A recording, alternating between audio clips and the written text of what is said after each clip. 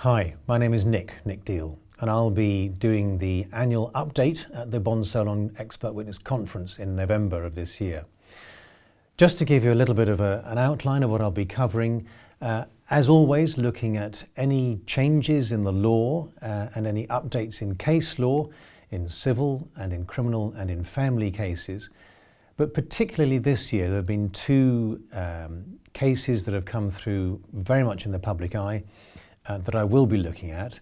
Uh, one is the Lucy Letby trial in the criminal justice system, and the other is the Horizon Post Office inquiry. And just to give you a very brief outline of the sorts of issues I'll be covering from those two. In Lucy Letby's trial, uh, the prosecution called six expert witnesses, uh, one of whom uh, underwent a particularly uh, aggressive, probing cross-examination and I'll be looking at some of the issues that arose um, from that and some of the comments both from the judge um, and from the Court of Appeal because that prosecution expert's evidence was accepted by the jury and in fact no expert evidence was called by the defence to challenge it. So the challenge came purely from the barristers. I think it's going to be quite interesting to look at how the law looks at that when there's a, a challenge from the lawyers but no evidence brought in by them to challenge the expert witness. And I've been looking at how the judges use uh, evidence, what evidence actually means, uh, and really looking again at how the expert witness for the prosecution survived uh, that process. It was several days of cross-examination. So he came through it really well. At the other end of the scale, there's the Horizon Post Office inquiry and uh, you may have been following it um, in the media. But of particular interest and particular concern was the evidence of Gareth Jenkin, who was the uh, witness called by the post office in the trials of various sub-postmasters and sub-postmistresses. Two key things around his evidence.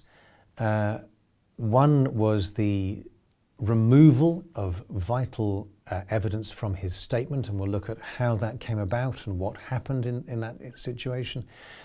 The other, which slightly pre predates that, is the concept of being an expert witness at all, because he said at the inquiry that he hadn't appreciated that he was an expert witness and was then confronted with the email that had been sent to him prior to his engagement demonstrating that he was the expert witness. Now, in the inquiry, nothing has yet been concluded and therefore we can't comment on any findings made at the inquiry, but it's just interesting to explore the evidence that came across from Gareth Jenkins. With the Lucy Letby trial, there's been now two trials um, and a Court of Appeal hearing. There is now an inquiry beginning into the circumstances around what happened at the um, Countess of Chester Hospital. So we won't be touching on that, but we will be touching on what happened uh, in the course of the trial. So those areas uh, to be dealt with, and as I say, the usual updates on what's going on in, in civil and in family and in criminal. Very much forward to, to seeing you there. Do come and join us.